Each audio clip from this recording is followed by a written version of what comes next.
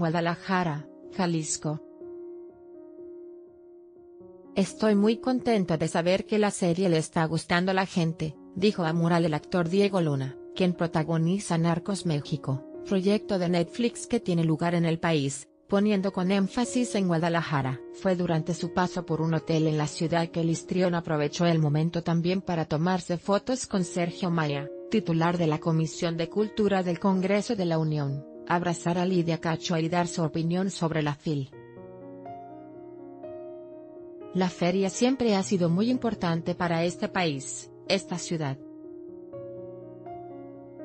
Nos recuerda la importancia de escucharnos, de conectarnos, de escuchar las historias de otros, de aquellos que tienen algo que contar. En un país como el nuestro, el ver que hay este nivel de atención hacia los libros es ya una buena noticia, y en lo personal me ha servido para conectar con los autores que quiero, admiro, leo y con el público agregó el histrión de Narcos México.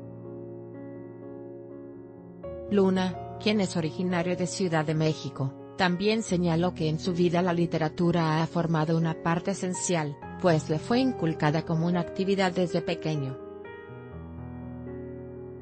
Me enseñó la necesidad de entender que el mundo se hace gracias a las distintas perspectivas, a aceptar que la gente ve el mundo desde otras perspectivas y a escuchar la historia del otro, profundizar en la posición del otro, es indispensable, puntualizó.